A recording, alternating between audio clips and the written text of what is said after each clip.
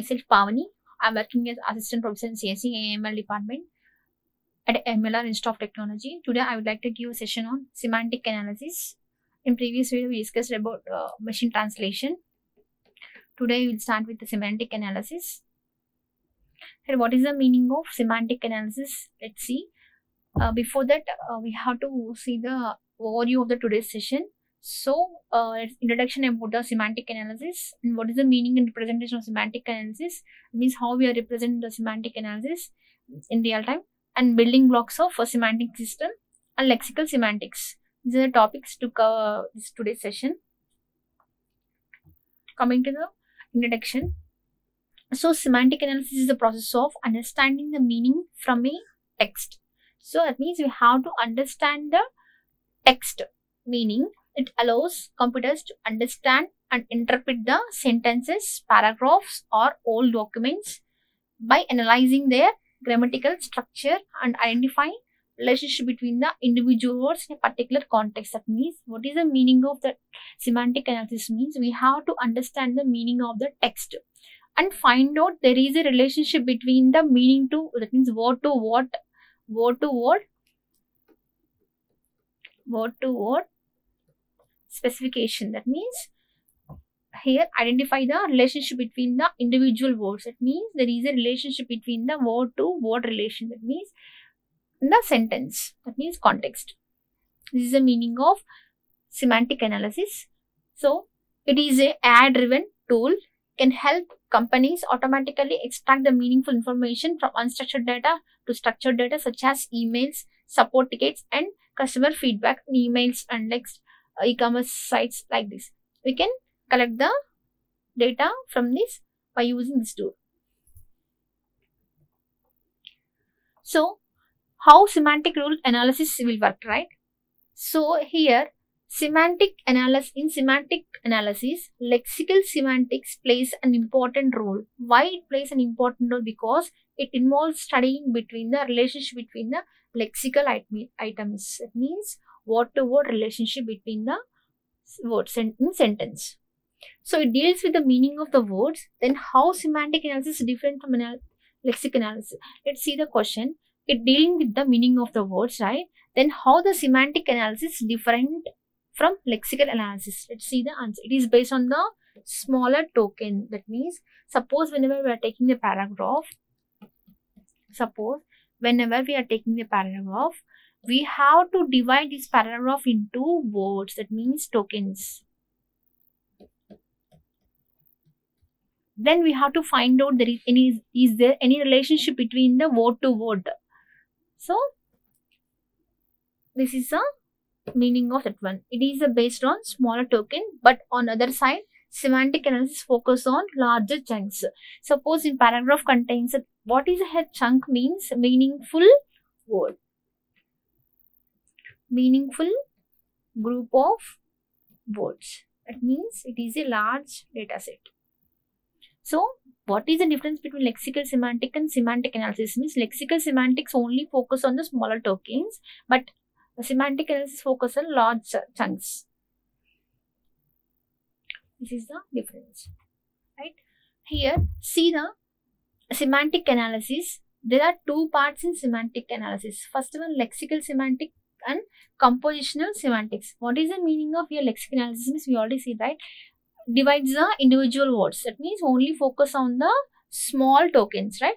Studies individual words and their meaning. Focus on small words. That means words or tokens. It is called as a lexical analysis. Let's see the example. Understand the meaning of the word bank. Here, what is the here? What is the meaning of the bank here? It can be river or financial institution. This is the meaning of that means that means how many ways the word we, we can specify right in two ways we can specify here here we can call it as a river bank or financial institution right this is the lexical semantics next one composition sentences. What is the meaning of composition semantics, right? Study how words combine to form a sentences. That means we can combine after after we combine the words, it it frame a sentences. That means it forms a single meaningful sentence. Analyze the structure and combines the meaning to understand the sentence level meaning. That means we have to understand that meaning of word in sentence level. See, let's see the example here. Sentence Ram is great, right? Analyze whether Ram is a person or Lord Ram, like Lord Ram. Here, Ram is a person or Lord Rama, right? Analyze whether the Ram is a person and what uh, here uh, also whether Ram is a person and great is also refers to what? Whether why the job to get proper meaning of sentence semantic analyzer is important. So whenever we have to specify the particular word is why important is that we use the semantic analysis Semantic analysis involves creating a structured representation of meanings in sentence. That means word to word relationship between. That means we have to follow some uh, rules and regulations to follow structure. So here, before that, uh, we have to know the building blocks of semantic systems. We have, uh, this is a two marks questions, right? Building blocks of semantic systems. There are four entities, concepts, relations, and predicates, right? So what is the meaning of entity? That means relationship. That is, it refers to the individual things right? like Ram, Haryana, India, a person, location, etc. So what is a concept? This is a overall representation of the category. That means here entity comes under which category? Like city, person, place, etc. Like this. That means it, it represents concept means we have to represent in a category. Like relation. It's so it it shows the relationship between entities and concept. That means there is a relationship between entity and concept. Here, Ram specifies which category? Person category. Here, Haryana specifies which category? Like city. India specifies the place. Like this, we have to mention there is a relationship between the entities and concepts. That is the meaning of relations. Next, what is the meaning of predicate? Represents the web structure that means action states. It includes roles like subject, object, verb like and case grammar. These are the predicates. We have to indicate by using the predicates. Next, see what is the meaning representation of the semantic analysis. Here, first one, linking of listic elements to non-listic elements. Here, what is the meaning of listic elements and non-listic elements? With the help of the meaning representation, linking of listic elements to non-listic elements can be done. So, by using in semantic analysis, whenever we, we want to link between the listic elements to non-listic elements, with the help of the meaning representation only, it is possible, right? Let's see the second one, representing variety variety at lexical level. With the help of meaning representation only, unambiguous canonical forms can be represented. By using the meaning representation, we can uh, we can we can represent the unambiguous words and canonical forms of words, right? It can be used for reasoning with the help of meaning and representation, verifying what is true in the world as well as into the knowledge from the sentence representation. Which type of words can be used for reasoning? these are the meaning and representation of why why we are using meaning representation why it is important. Let's see approaches to the meaning and representation right? Here what is the first one? Fopl first order predicate logic. What is the meaning of uh, first order predicate logic is it expresses the variables objects and relationship between the words by using the logic. Here what is the logic? Here p of x is a colon x is x here x is the subject and 5x is the predicate. What is what is the condition? X is the greater than or equal to or less than or equal to is the some condition right? This is the meaning of the condition. Why we represent in a logical way? So it is known as a quantificational logic or predicate calculation. So next one semantic nets are semantic networks. Here it is a graph structure. Here see the example. Ram is a boy. Here Ram, boy. A relationship between is is a is the relationship. Here it is the arc symbol, right? A is a relationship.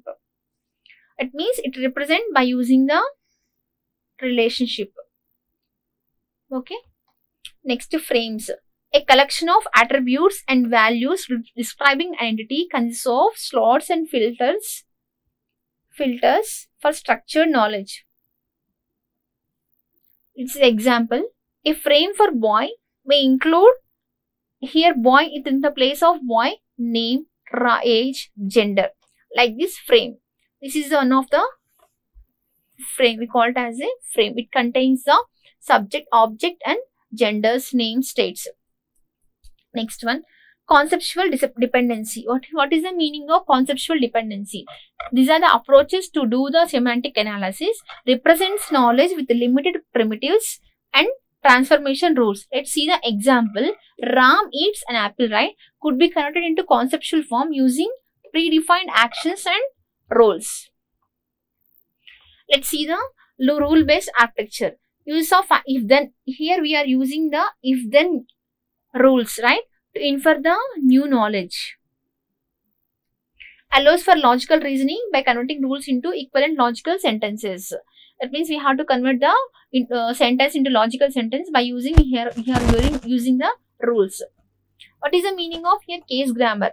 Lexical theory focus on semantic roles. That means what are the semantic roles like agent, action, object, subject. These are all the comes under semantic roles of in the lexical semantics, right?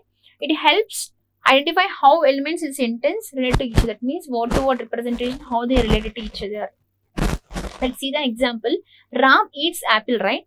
Here Ram eats apple. Here Ram is the agent, apple is the object, eats is the action. Here Ram eats apple. Here Ram is the agent, apple is the object, eat is the action. Ram eats an. This is the representation of the in case grammar. What is the meaning of conceptual graphs? Visual structures that represent concepts and relationships can be individual, that means generic, useful in understanding events and context. Whenever we have to use uh, conceptual graphs, when represent the concepts and relationships in an individual manner or generic manner. That means based on the understanding the events, we can use this uh, approach in semantic analysis. Let's see the next topic lexical semantics. Here, what is the meaning of lexical semantic? Already understand, right? It plays a major role in semantic analysis. And by using lexical semantics, we have to understand the small tokens, right?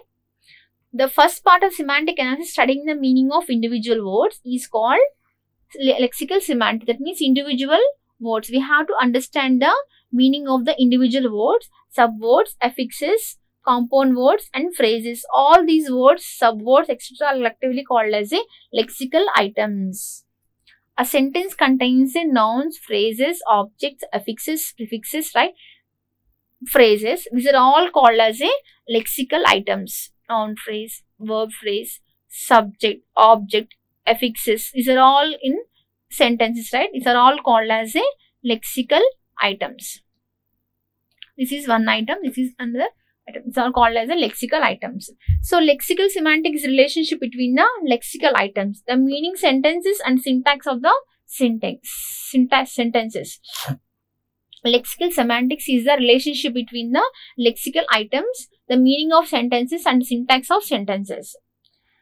Here, let's see the steps to follow in lexical semantics is first classification is required. After classification, decomposition of the lexical items into their meaningful components. First, we have to we have to take the paragraph, then classify the paragraph into tokens. After tokenization, decompose the lexical item to their meaningful component. Means frame the sentence, exact sentence.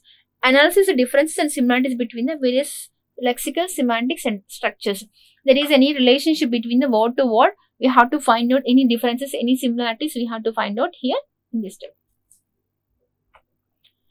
Let's see the next important one, elements of semantic analysis. There are, there are several uh, elements are there in semantic analysis. First one, hyponymy. What is the meaning of hyponymy? It is, uh, the hyponymy may be defined as relationship between generic term and syntax that generic term. The generic term is called hyponym. Hyponym instances are called as hyponyms. Here, what is the meaning of hyponym and hyponymy is, suppose we have to take the word color. It is a hyponym. That means we are taking the word color, it is a hyponym. The generic term is called a hyponym. The color contains several are there. Some blue color, yellow color, red color, pink. These are all under comes under hyponyms. Right? Understand the point. What is the meaning of hyponymy? Hyponymy is relationship between the generic term. Here the generic term is suppose take the example color. Color is the hyponym. The color contains several multiple colors, right? Yellow color, blue color, green color, pink color. These are all under comes under hyponyms. This is the meaning of hyponymy. Understand the example, then you will get the clear idea about hyponymy. Next, homonymy. What is the meaning of? These are all elements in a semantic analysis. What is the meaning of homonymy? It is defined as a word having same spelling or same form but having different and unrelated meaning.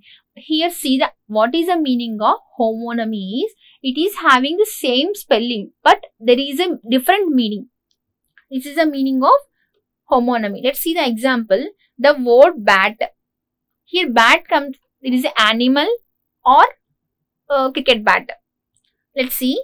This is a homonym because it can be refers to an implement hit a ball or flying mammal like but spelling is same. Bat both are same but there is a different meaning right? Cricket bat or mammal. That means animal.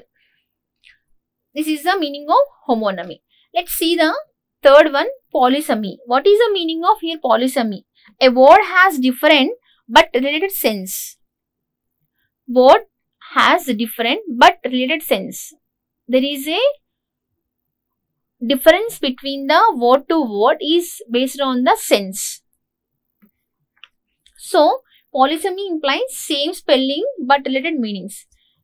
So, let's see the example. Already we discussed, right? Bank. Bank comes from river bank or by financial institution, right? The building where the institution is located know, is synonym for to rely on. This is the meaning of polysemy. Let's see the synonymy.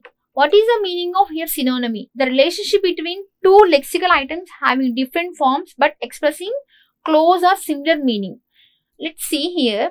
It is a relationship between two lexical items. That means word to word relationship between having different forms but expressing a close similar meaning. But both are expressing the same meaning. Similar meaning, not same, exact same meaning. Similar meaning. This is a meaning of synonymy. Let's see the example author.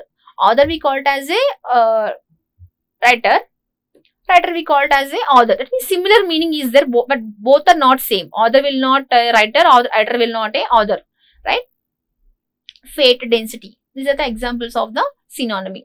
Let's see next one, antonymy. And what is the meaning of antonymy? It is a relationship between two lexical items showing opposite meaning. Let's see here, opposite meaning or semantic symmetry related to an axis. Uh, let's remember that one, opposite meaning. This is enough, right? Let's see the examples. Application of property not life death. Like these are the exact meaning of antonymy. Quite opposite. Opposite meanings. Here life, life opposite meaning is death, right? Rich, poor, hot, cold, father, son, moon, sun. These are the opposite meanings of the words. Comes under antonymy. This is all about the elements of semantic analysis. Very, very important one. Hyponymy, homonymy, polysemy, and synonymy, antonymy. So, what we discussed in today's uh, session is introduction to semantic analysis. And next one, meaning and representation, and elements of semantic analysis and lexical semantics. Elements of lexical semantics. Thank you.